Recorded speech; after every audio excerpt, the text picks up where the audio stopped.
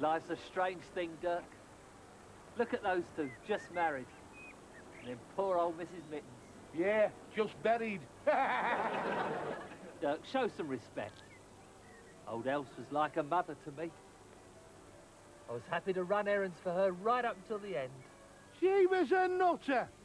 Gave me a dog's life. She was a character and there's not many left.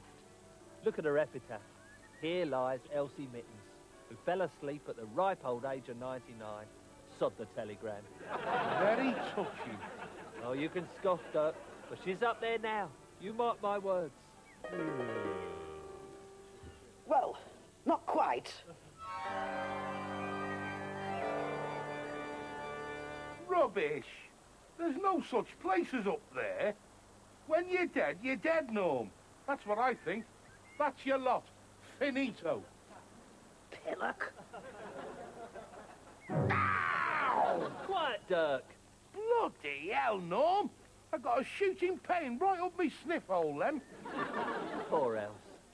I can't believe I'll never see her again. I remember once she sent me out for some sausages, and I came back with the wrong ones. She stuffed them down my throat one by one. she really knew how to enjoy life. You bet I did.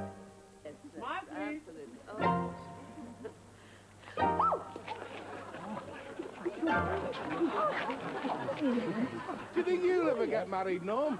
No. What woman would ever have me? Let's face it, Dirk. I'm just a failure, and that's all I'll ever be. Don't be too sure, Norman. What's the matter, Norm?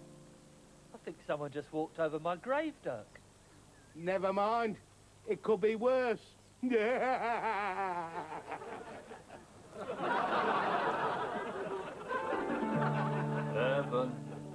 I'm in heaven. Hello, heaven. Listen, Branson, I've told you a million times you can have all the aeroplanes and balloons you want, but heaven is mine. Take a hike, piano teeth.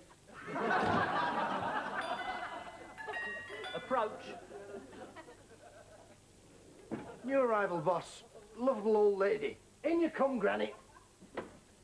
Don't patronise me, mate. Had enough of that down there.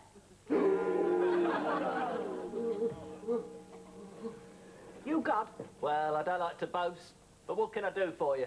Elsie Mittens. Wondered if you could do me a favour. Good soul shake. I like your style. You've got spirit. That's why I let you up here, Elsie. Well, it's a wonder anybody's got spirit with the mess you've created on Earth. Have you taken a look down there lately? Nah, I'm not what you call a hands-on sort of deity, else. I prefer to delegate. Let people work out solutions for themselves. Here. Is that a hole I see in my sky? That is the hole in the ozone layer. You want to look after your property, mate. Bloody vandals. I blame the parents. It's no use blaming other people. You're God, for God's sake. You're the father of all creation. That's a bit of an old-fashioned attitude for the daughter of a suffragette. Don't you bullshit me, mate. Just take a look at what you've created down there. War, loneliness, disease. Now, why can't you help a few people for a change? like who, for instance? Like him, for instance. Who's he? Well, you should know. You created him in your own image. His name's Norman. He's an inventor.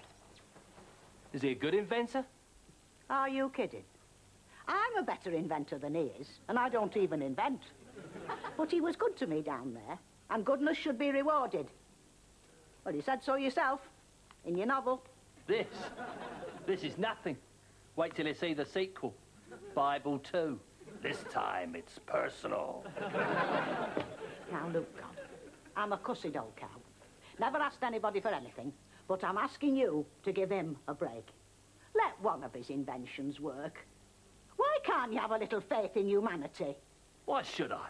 What's humanity ever done for me? Oh, Great news, boss.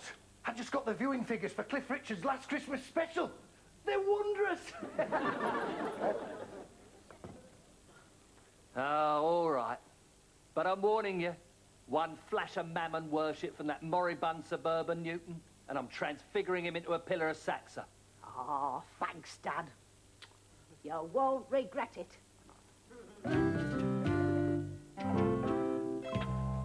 So you see, Una, it's not that I want to put pressure on Darren or anything, but it's just that my hair restorer is definitely my last throw of the dice as an inventor.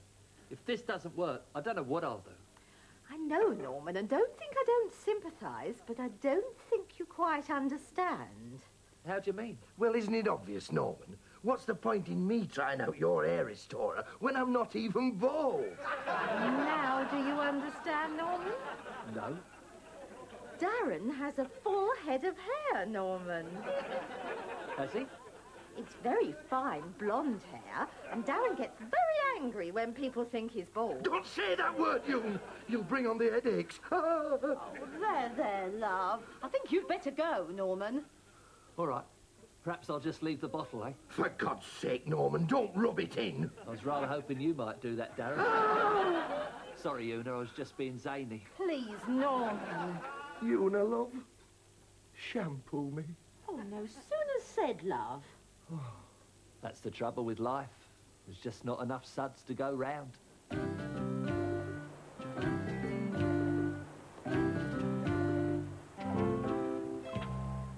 when you get right down to it, who cares about having a full head of hair nowadays? The bald-headed look is trending. Let's face it, I'm a man born out of time. Who but a shallow idiot would care about having a full head of hair these days? Norm! Norm! Darren? Cop hold of this lot, mate. Bloody hell! And wait for it. All right, all right, I got the drift. It works, right? You'd better believe it, mate. You're a success. Me, a success. Norm, what are you doing behind there? I won't be a minute, Dirk. I've a very important meeting today. And if I'm to be a success, I'll have to look after my image. What image? This image.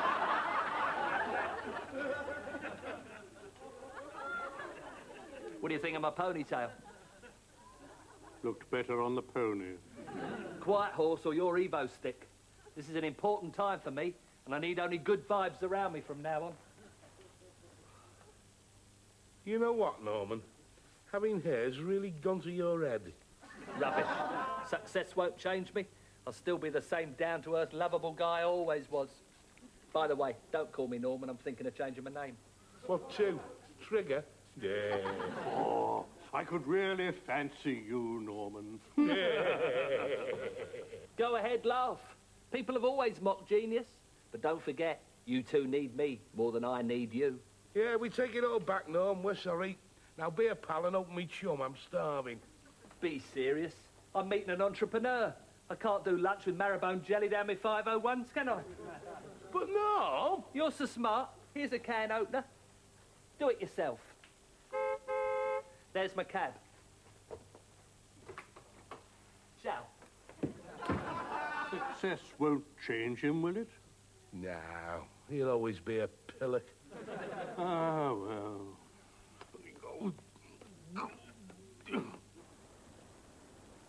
Norman! Norman! Norman! Hang on a minute, mate. Look! Dandruff! Thanks, pal. Now you take care of him, mate. He's the king of the follicles. In fact, he's folliculing brilliant.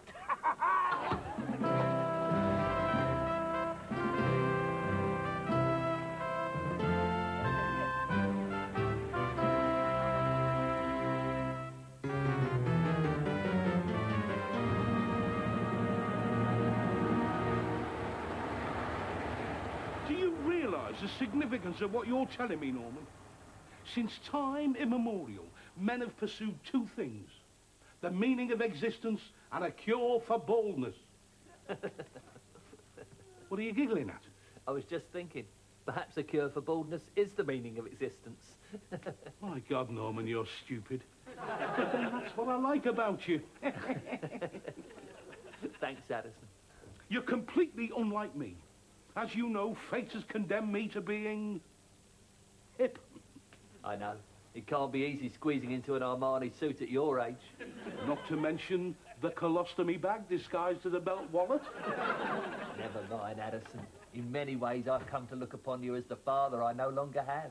And in many ways, Norman, I've come to look on you as the arsehole I no longer have. that is why, whenever you come to me with a new marketing concept, I listen. Even though your other concepts were rubbish. I still believe in those, Addison. And I believe in my hair restorer even more. Please say you'll give it a chance. I intend to, Norman. Oh, God knows why. Uh, Mr. Green? Typical of you, Norman. You wait till there's a recession on, then you go and invent a hair restorer. Perhaps it's an omen. Yes, Mr. Mammon. Uh, Tony, correct me if I'm wrong, but you are completely bald. No, not at all. Allow me to rephrase that. You have a full head of hair, but it's very fine blonde hair. Am I right? Yes, I'm glad you noticed that. I have. Vanity. All is vanity. Just rub a bit of that on your bonce, will you, Tony, please? What is it? Hair restorer. But I'm For not. people with a full head of hair. Oh, right. If this stuff works, Norman, the spin-offs will be limitless. The market will explode. Former baldies will be getting into mousse, going to the barbers, wearing headbands, the works. You will be the Christopher Columbus of the crew cut.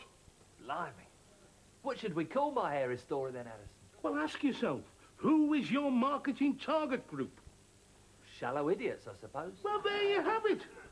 Shalidot for men. It works. Norman, say hello to fame and fortune. Hello.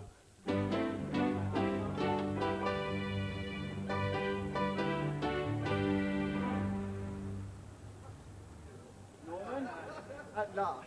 All my life I've been wanting hair, and now you can give it to me. Please, can I touch the hem of your raiment? All right, but make it quick. I'm going to a party.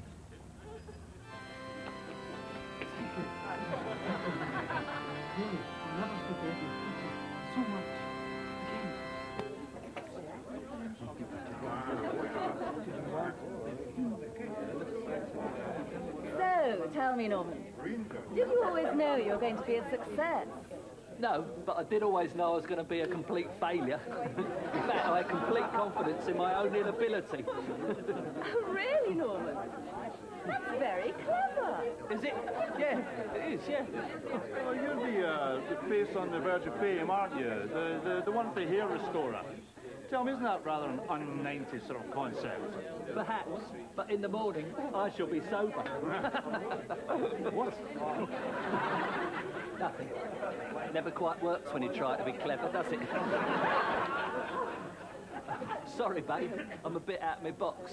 Excuse me. Oh, God. It's hard work, all this drinking.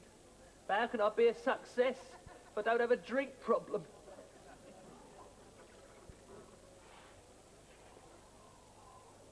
Oh, my eyes. Yeah, look at them. Look at yourself. I used to be proud of being a reflection, but I'm not anymore. What do you mean? You're vain, shallow, pretentious. Do you think I want to look like you? You've changed, Norman. Of course I've changed. How can it be a success if you don't change? Do you think I wanted to be a failure all my life? All right, keep your hair on. Don't you tell me what to do. Right, that's it. Come back. What are you doing? I'm turning my back on you, Norman. And I won't be back until you've first seen the error of your ways. Yeah, that goes for me too. What? I'm off.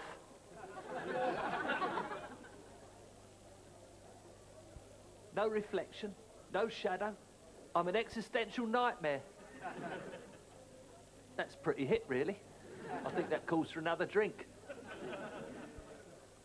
Dirk! I'm home! Dirk!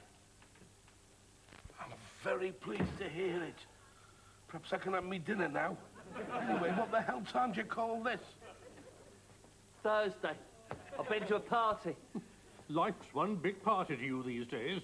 You treat this house like a hotel. I can't help it if I'm a hellraiser, can I? God, I'm dying for a drink. Great. Here's some cider vinegar.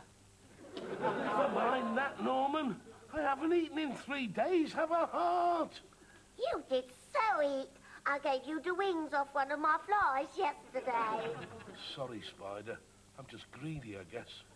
That's one thing about us non-humans, Norman.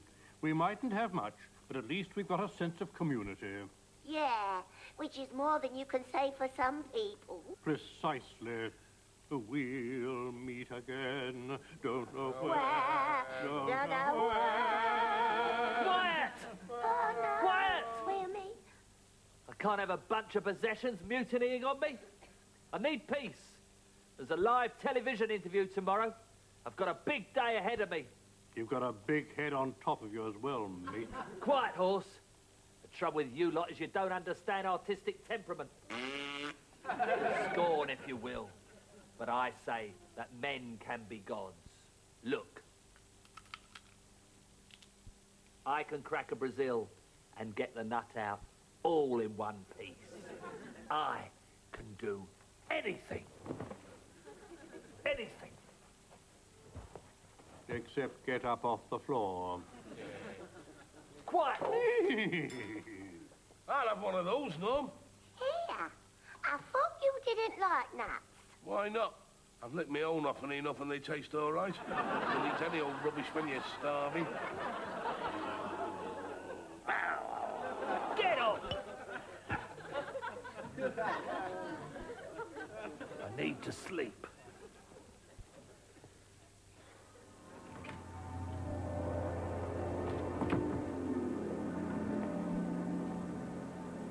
Hello, Norman. Who are you? Don't you remember us? We're all the hair you ever had. From every shave, every haircut, every discreet pluck at the insides of your nostrils. The lot. We are back, Norman. And we are angry. Angry? Why? What you're doing with your hair restorer isn't ecologically sound, Norm. You're forcing hair to grow inorganically using horrible toxic chemicals.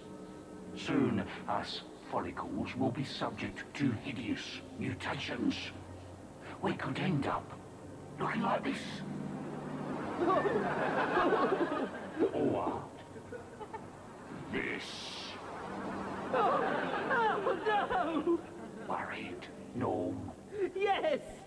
Yes, I am worried!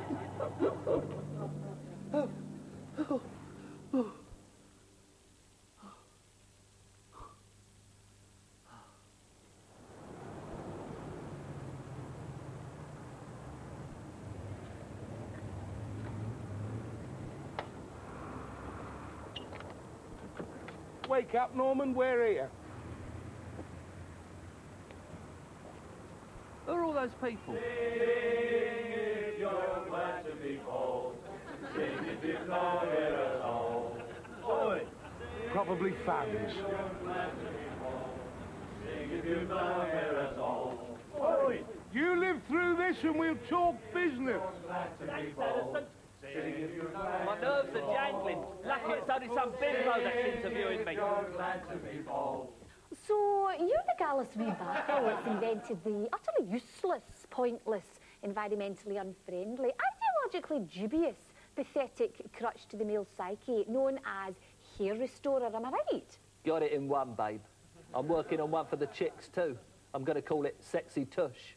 That's very big of you, Norman. Well, you know, fair dues. Right on, you. Indeed. Now, tell us about your hair restorer, Norman. Does it work every time? Oh, yeah. No problem, every time. Do you know what, Mew? I've never yet known it not to work. Really? That's quite interesting because we've done some research and we found there was at least one person on whom your hair restorer did not work, Norman. No, no, no. You're wrong there, Mew. Mark my words, when that stuff hits the streets, you'll search high and low and still not find a dissatisfied customer. Really? That's very interesting. I mean, look at me. I'm the perfect advertisement for my product. Once upon a time, I was completely bald. Now look at me. I've got a ponytail and everything. And that's all this week from Exposing Assholes. We'll see you again soon. Works on other people. I don't understand why it doesn't work on me. Because you're made in God's image, you prat. And God's as bald as a badger's bum. and don't you be such a smug cow.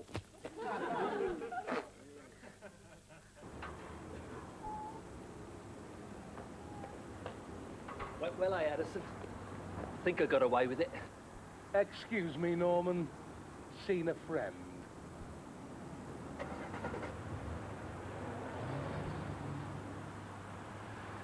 They can say what they like. My hair restorer still works. Just not on me, that's all.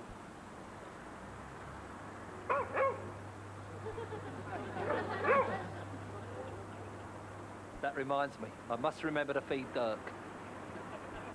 Dirk, I'm home.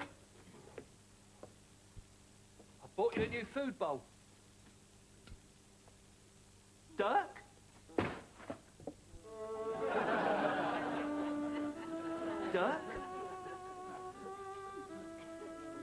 Dirk? What have I done? It's your own fault. You neglected us all in your selfish pursuit of fame and fortune. You did that to him. Don't say that. Perhaps it's still not too late. Dirk, don't leave me. I know I've been a fool, but I'll make it up to you. You'll see.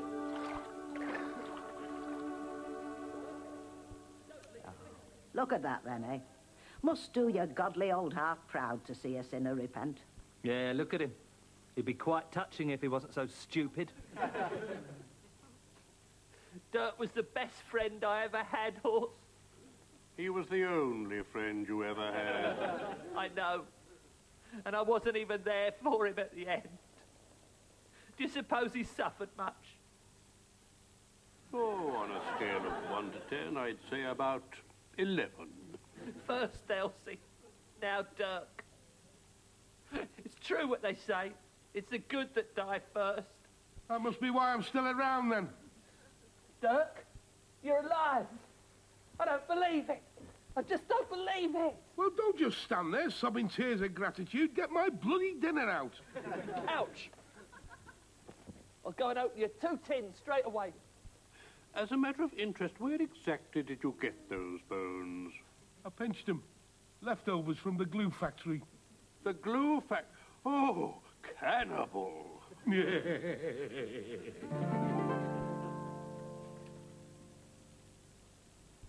So, this is what you get up to when you're not being celestial, then, is it?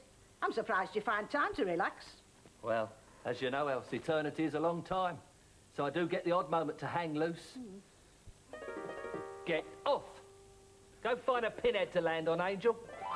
Yes, but don't you miss all the hurly-burly of life on Earth, then? You know, all the, all the cut and thrust and intrigue and that. No, I've done all that. I've burned off my bad karma, me. Why'd you ask? Well, you just want to be careful, that's all. There's plenty of men down there who'd just love to step into your shoes. I mean, look at Norman and his miracle hair restorer. Norman? Norman's not in my league, else. Don't forget, I created the world in six days. And what did you do on the seventh day, then? I washed my hair.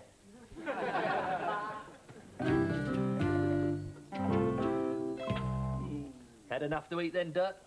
Yes, thank you. Norm.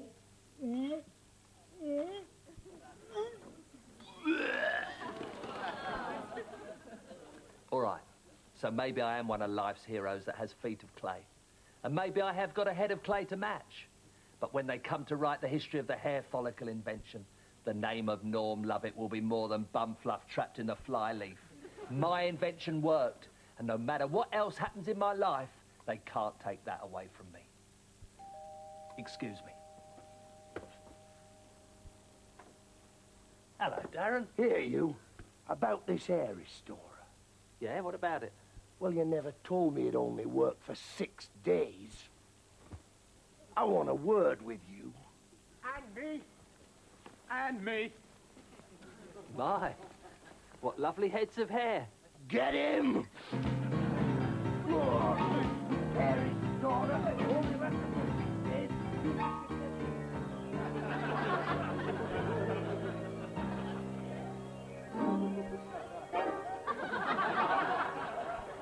Oh, well. You know what they say. The Lord giveth and the Lord taketh away.